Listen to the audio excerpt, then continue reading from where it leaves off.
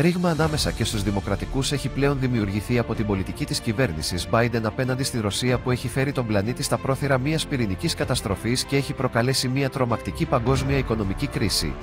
Η πτέρυγα των φιλελεύθερων δημοκρατικών στο Κογκρέσο τον ΗΠΑ πιέζει τον Αμερικανό πρόεδρο Τζο Μπάιντεν να προχωρήσει σε απευθείας συνομιλίες με τον Ρώσο πρόεδρο Βλαντιμίρ Πούτιν για να λήξει ο πόλεμος στην Ουκρανία.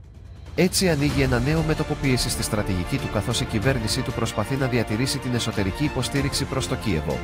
Η επιστολή που εστάλει στο Λευκό Οίκο από 30 βουλευτές των Δημοκρατικών έρχεται καθώς ορισμένοι υψηλόβαθμοι Ρεπουμπλικάνοι έχουν προειδοποιήσει ότι θα είναι πρόκληση για το Κογκρέσο να διατηρήσει την πλήρη υποστήριξη της Ουκρανίας.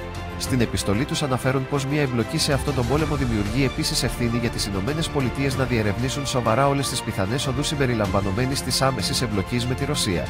Οι συνομιλίες με τη Μόσχα έχουν τη δυνατότητα να μειώσουν τη ζημιά και να υποστηρίξουν την Ουκρανία στην επίτευξη μιας ειρηνικής διευθέτησης.